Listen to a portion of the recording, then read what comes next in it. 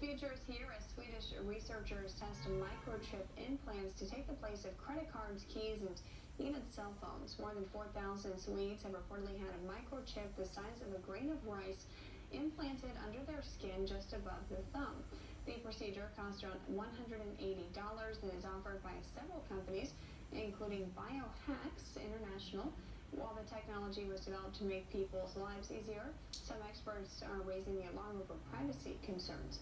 Still, the trend is growing in popularity across Europe and has even taken root at software companies here in the U.S.